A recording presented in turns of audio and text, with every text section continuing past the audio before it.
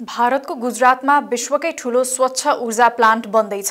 यो ऊर्जा प्लान्ट फ्रान्सको प्यारिस सहरभन्दा पाँच गुणा ठुलो र अन्तरिक्षबाट समेत देखिने जनाइएको छ।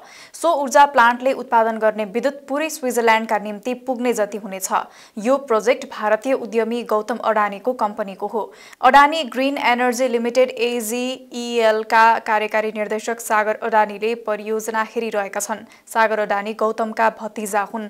करिब एक सय अर्ब अमेरिकी डलर सम्पत्ति भएका गौतम अडानी भारतमा सबैभन्दा ठूलो कोइला आयात र उत्खननकर्ता हुन्। सन् उन्नाइस सय अठासीमा स्थापित अडानी ग्रुपले बन्दरगाह थर्मल पावर प्लान्ट मिडियादेखि सिमेन्टसम्मका क्षेत्रमा व्यवसाय गर्छ। अडानी ग्रुपको स्वच्छ ऊर्जा इकाइ एजिइएलले पश्चिम भारतको गुजरात राज्यमा करिब बिस अर्ब अमेरिकी डलरको लागतमा सौर्य र वायु ऊर्जा प्लान्ट निर्माण गरिरहेको हो। पाँच वर्षमा यसको निर्माण सम्पन्न गरिने लक्ष्य राखिएको छ।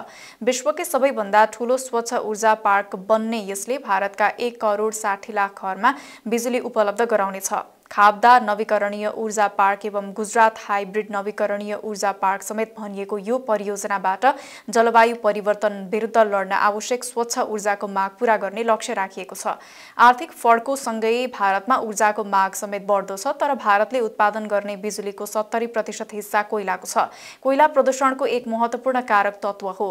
पाकिस्तानसँगको सीमाबाट करिब उन्नाइस किलोमिटर टाढा यो पार्क तिन सय बाइस वर्ग किलोमिटरभन्दा बढी क्षेत्रफल क्षेत्रमा फैलिनेछ। सागर अडानीले भनेका छन् त्यो ठूलो क्षेत्रमा कुनै वन्यजन्तु छैन र कुनै वनस्पति पनि छैन। त्यहाँ कुनै वासस्थान छैन। त्यो जग्गाको अर्को राम्रो विकल्प छैन। अमेरिकी सर्ट सेलर हिन्डनबर्ग रिसर्चले दशकौंदेखि ठगीको आरोप लगाए पनि अडानी ग्रुपले त्यसलाई अस्वीकार गर्दै आएको छ। आफ्नो व्यापारिक विस्तारलाई निरन्तर राख्दै अडानी ग्रुपले स्वच्छ ऊर्जा क्षेत्रमा अरबौं रकम खर्च गरिरहेको छ।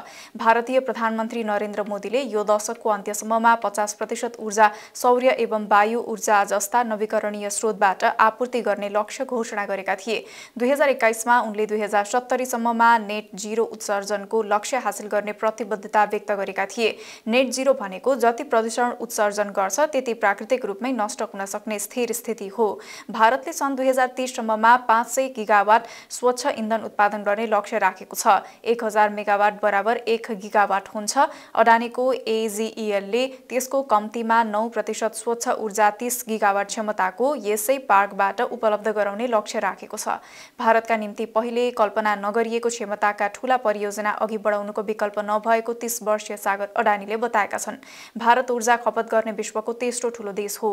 सन् दुई हजार यता भारतमा ऊर्जाको माग दोब्बर भएको छ जसको अस्सी प्रतिशत कोइलाबाटै आपूर्ति गरिन्छ। चीन अमेरिका र युरोपले झैँ भारतले पनि जीवाश्म इन्धन नै प्रयोग गरेमा जलवायु परिवर्तनका कारण भविष्य अन्धकारमय हुने उनको भनाइ छ। भारतमा आउँदा केही वर्षमा कम्तीमा छ प्रतिशतको वार्षिक वृद्धि हुने र यो दशक नबित्दै विश्वको तेस्रो ठूलो अर्थतन्त्र बन्न सक्ने आकलन गरिएको छ।